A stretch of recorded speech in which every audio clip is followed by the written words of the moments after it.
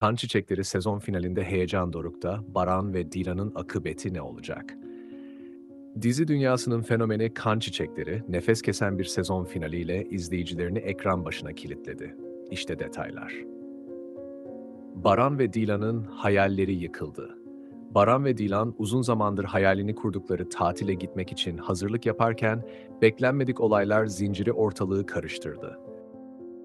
Hapisten kaçan Hasan, intikam ateşiyle dolup taşarken Fırat ve Gül'ü kaçırarak hain planını devreye soktu.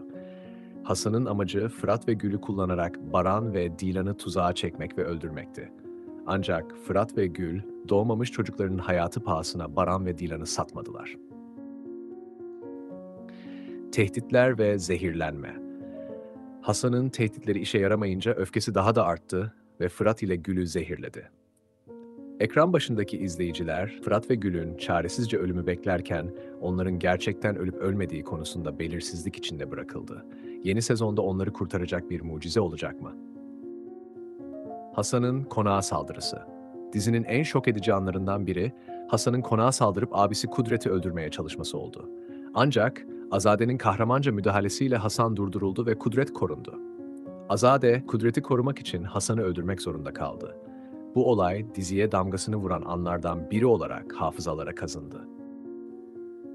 Baran ve Dilan'ın kazası Final sahnesinde Baran ve Dilan beklenmedik bir kaza yaşadı. Gizemli bir kadın, kazadan sonra Baran ve Dilan'ın çocuğunu arabadan alarak ortadan kayboldu. Kadının adamları ise Baran ve Dilan'ın bulunduğu aracı denize iterek izleyicilere nefes kesen bir sahne sundu. Yeni sezonda neler olacak?